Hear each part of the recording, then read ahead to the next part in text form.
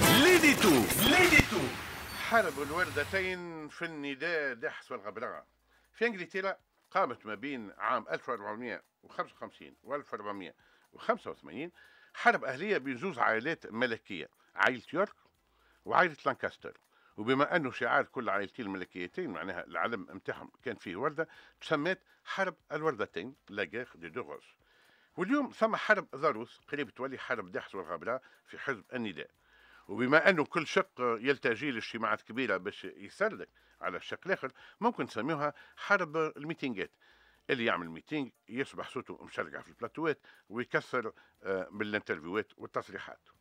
وتوجد وقتها في إنجلترا آه، في وقت حرب الوردتين شخص هو بارون اسمه ريشار نيفيل وكان يسند مرة عائلة لانكاستر ومرة عائلة يورك. حتى سموه وارويك صنع الملوك وارويك the king maker.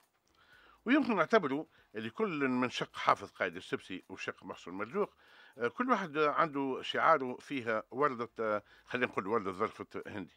ونعتبره زاد حركة النهضة وبالأحرى نور الدين البحيري آه، شهر معاوية بمثابة وارويك الكومباس والكومبان ما بين الشقين في عائلة النداء داحس والغبراء. علما أنه وارويك مشات براسه في خطرة من الخطرات فبحيث التاريخ يتعاود في شكل تراجيكوميديا على mélodrame في ساحة كثروا فيها الكومبارس في الواجهة واللي يجبدوا في الخوت في الخفاء والدهاليز اللابدين في السكريتو ونتصور بعد على العشاء صلاة العشاء راشد الغنوشي ونور الدين البحيري يغنيو في مجلس الشورى نتاع حركة النهضة مع الهادي التونسي أي غني معي.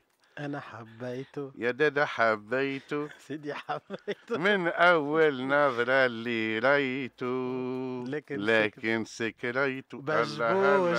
لكن سكريته. هلا. هلا. تركت الحشمة دغري البيت.